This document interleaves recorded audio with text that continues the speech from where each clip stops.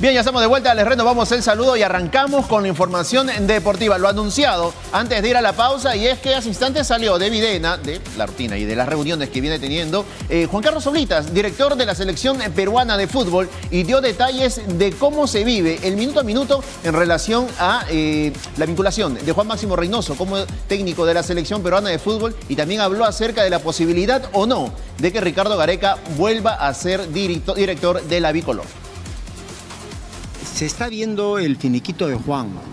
Mientras no se resuelva eso, lógicamente no puede haber ninguna otra noticia.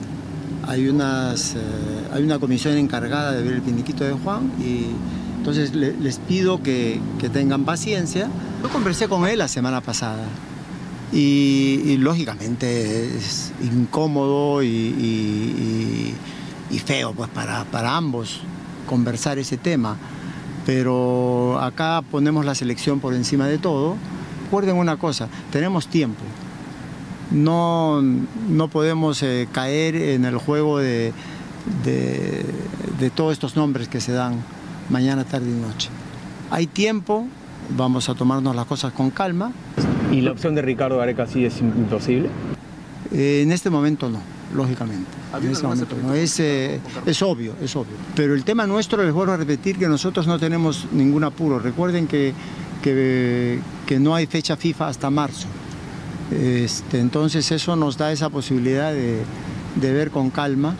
Lógicamente con calma no significa que vamos a dejar a que pase marzo, de ninguna manera.